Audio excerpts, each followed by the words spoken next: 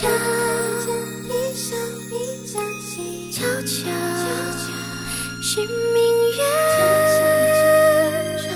心上月亮最怕欢喜，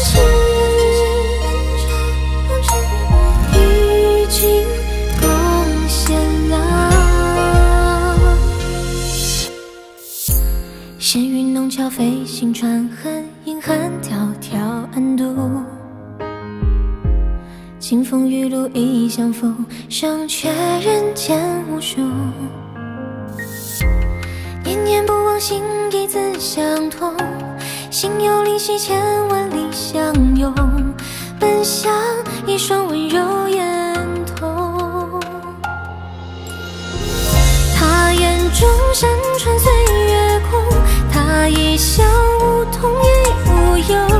等谁记一场相思的梦？愿只愿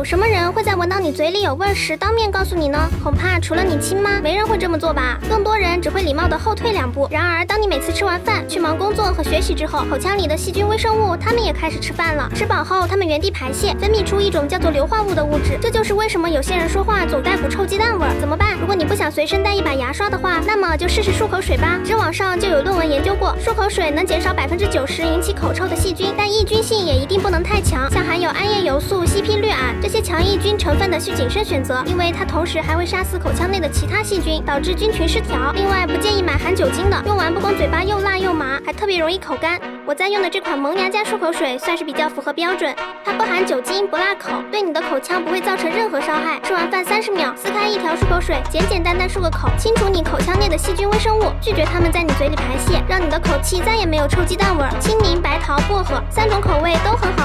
齿卫生没做好，你平时是感觉不到什么的。就好像如果你一天不刷牙，牙齿好像也不会烂嘛。但是等到你真的牙疼的时候，就已经晚了。到时候可能会花几千块钱去补一颗牙齿，所以平时注意口腔卫生，就等于在给你省钱。现在评论区领券，原价两百三十四元的六盒萌芽家漱口水，到手仅需一百七十四元，六盒足足一百二十支，起码能用半年多。再多送你三瓶五百毫升的瓶装漱口水，记得评论区领券哦。